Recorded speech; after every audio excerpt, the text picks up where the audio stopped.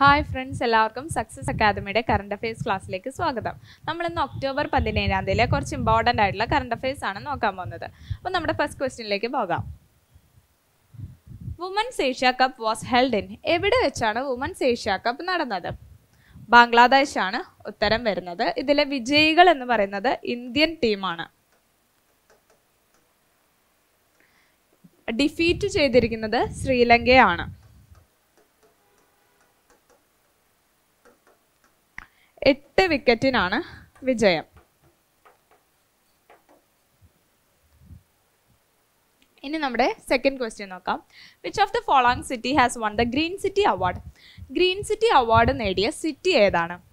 ഹൈദരാബാദ് ആണ് ഉത്തരം വരുന്നത്. ആകെ ലോകത്തിൽ ആദ്യമായിട്ട് ഒരു ഇന്ത്യൻ സിറ്റിയെ ഗ്രീൻ സിറ്റി അവാർഡിന് പരിഗണിച്ചതും ഹൈദരാബാദ് തന്നെയാണ്. The only Indian city to win green city award our consider for green city award is Hyderabad അതുപോലെ തന്നെ മറ്റൊരു അവാർഡും ഹൈദരാബാദ് നേടിയിട്ടുണ്ട്. Living green for economic recovery and inclusive growth എന്നാണ് ഈ അവാർഡിന്റെ പേര്.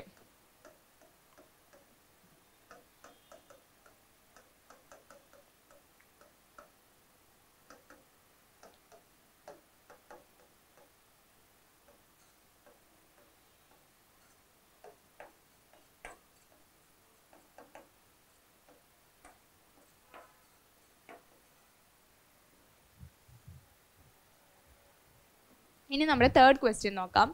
World students day is observed every year on which day ഏത് ദിവസമാണ് വേൾഡ് സ്റ്റുഡൻസ് ഡേ ആയി ആചരിക്കുന്നത്? ഒക്ടോബർ ഫിഫ്റ്റീൻത്തിനാണ് ഈ ഒരു ദിവസമാണ് നമ്മുടെ മുൻ രാഷ്ട്രപതിയായ doctor A P J Abdul Kalam മര ജനിച്ചത്. അപ്പോൾ അദ്ദേഹത്തിന്റെ ജന്മദിനമാണ് നമ്മൾ വേൾഡ് സ്റ്റുഡൻസ് ഡേ ആയി ആചരിക്കുന്നത്. അദ്ദേഹം ജനിച്ചത് നയന്റീൻ തേർട്ടി വൺ ഒക്ടോബർ ഫിഫ്റ്റീൻത്തിനാണ് ഇദ്ദേഹത്തെ പീപ്പിൾസ് പ്രസിഡന്റ് എന്നാണ് അറിയപ്പെടുന്നത്.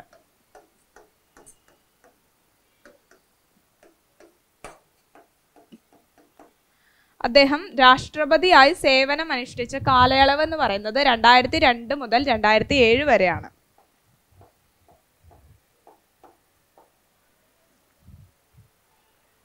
നമ്മുടെ ഫോർത്ത് ക്വസ്റ്റ്യൻ നോക്കാം. International day of rural woman is observed every year on which day ഏത് ദിവസമാണ് ഇന്റർനാഷണൽ ഡേ ഓഫ് റൂറൽ വുമനായി ആചരിക്കുന്നത്? അതും October ഫിഫ്റ്റീൻത്തിനാണ് rural woman a key for a key for a world free from hunger and poverty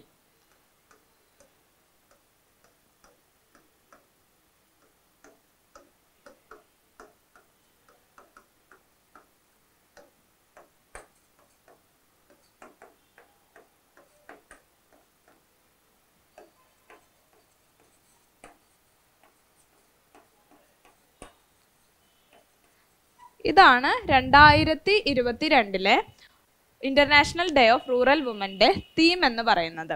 Rural woman a key for a world free from hunger and poverty ഇനി നമ്മുടെ fifth question നോക്കാം. Global hand washing day is observed every year on which day എന്നാണ് global hand washing day ആയി ആചരിക്കുന്നത്. October fifteenth ആണ് answer വരുന്നത്. ഈ വർഷത്തെ തീം എന്ന് പറയുന്നത് unite for universal hand hygiene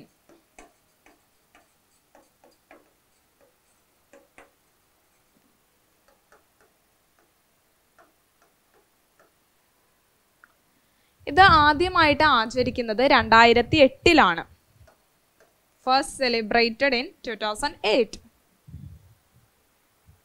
ഇനി നമ്മുടെ സിക്സ്ത് ക്വസ്റ്റ്യനിലേക്ക് പോകാം. Name the institution that signed a memorandum with national highways and infrastructure development corporation limited for cooperation in innovative solutions for highways construction highways കൺസ്ട്രക്ഷനിൽ innovative solutions suggest ചെയ്യാനും അതിന്റെ കാര്യപരിപാടികൾക്ക് വേണ്ടി national highways and infrastructure development corporation limited അതായത് N H I D C L ഏത് ഇൻസ്റ്റിറ്റ്യൂഷനുമായാണ് ഒരു memorandum sign ചെയ്തിരിക്കുന്നത്? I I T പട്നയാണ് ഉത്തരം വരുന്നത്. ഈ ഒരു എഗ്രിമെന്റ് സൈൻ ചെയ്തിരിക്കുന്നത് ഐ ഐ ടി പട്നയുടെ ഡയറക്ടറായ ഡോക്ടർ ടി എൻ സിംഗും അതുപോലെ N H I D C എല്ലിന്റെ മാനേജിംഗ് ഡയറക്ടറായ ചഞ്ചൽ കുമാറും തമ്മിലാണ്.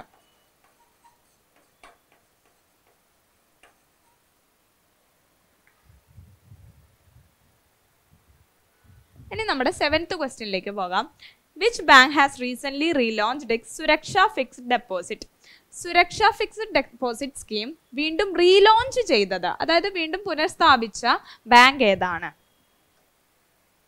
ഡി സി ബി ബാങ്ക് ആണ് ഉത്തരം. ഇതൊരു ഫിക്സഡ് ഡെപ്പോസിറ്റ് സ്കീമാണ് for three years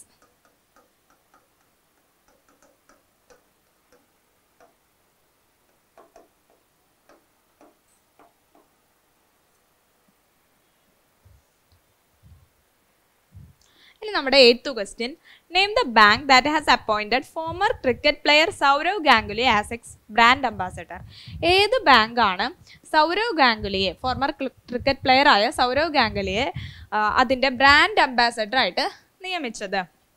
Bandhan bank Bandhan ബാങ്കാണ് ഉത്തരം വരുന്നത്. ഇദ്ദേഹം ബി സി സി എയുടെ തേർട്ടി നയൻത്ത് പ്രസിഡന്റ് ആയിരുന്നു.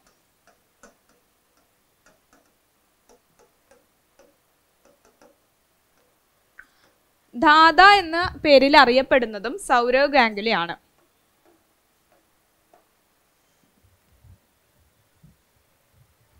ഇനി നമ്മുടെ ninth question who wrote the biography Ambedkar a life നമ്മുടെ ആർക്കിടെക്ട് ഓഫ് കോൺസ്റ്റിറ്റ്യൂഷൻ ഭരണഘടനയിലെ ശില്പിയായ ഭീംറാ ഭീംറാവു റാംജി അംബേദ്കറിന്റെ ബയോഗ്രഫി ജീവചരിത്രം എഴുതിയത് ആരാണ്? ശശി തരൂരാണ്. കൃതിയുടെ പേര് അംബേദ്കർ എ ലൈഫ് എന്ന എന്നുള്ളതാണ്. ഇതിൽ ശശി തരൂർ കമന്റ് ചെയ്തിരിക്കുന്നത് ജനിക്കാൻ പോകുന്നവരുടെ പോലും ജീവിതം മാറ്റി എഴുതിയ വ്യക്തിയായിട്ടാണ് ഭീംറാവ് ബി ആർ അംബേദ്കറിനെ പറ്റി പറയുന്നത്. അദ്ദേഹം ഒരു മഹാർ കാസ്റ്റിലായിട്ട് ജനിച്ച വ്യക്തിയാണ്. And he fought for the education and improvement of Dalits മനുസ്മൃതിയുടെ ബേണിങ്ങും ഒക്കെ ആയിട്ട് അസോസിയേറ്റ് ചെയ്ത വ്യക്തിയും നമ്മുടെ ബാബാ സാഹേബ് അംബേദ്കർ ആണ്.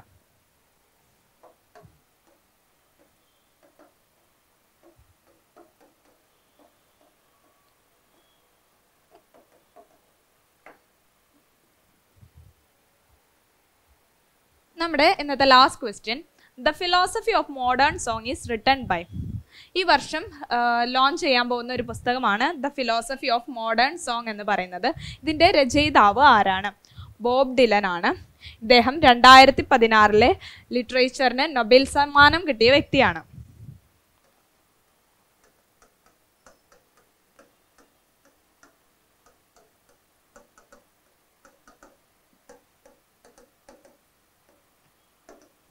ഇദ്ദേഹത്തിന്റെ ഫേമസ് ആയിട്ടുള്ള വർക്ക് എന്ന് പറയുന്നത് chronicles volume one the lyrics എന്ന് എന്നുള്ളതാണ്.